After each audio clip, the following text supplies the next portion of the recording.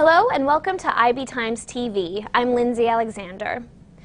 Russian oppositionist leader Sergei Udaltsov has been sentenced by a Moscow court to 10 days in jail for disobeying police during an anti-Vladimir Putin demonstration earlier this month.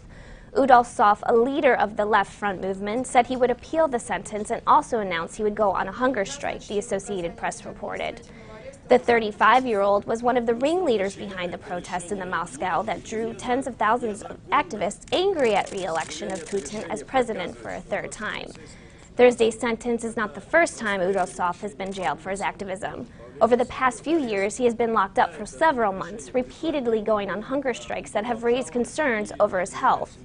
Earlier in March, thousands of protesters outraged over Putin's return to the presidency took to the streets of Moscow and St. Petersburg amidst claims by Western monitors that the election was skewed in favor of the Russian strongman. The protests followed accusations from inter international observers and foreign media that the election was riddled with procedural irregularities.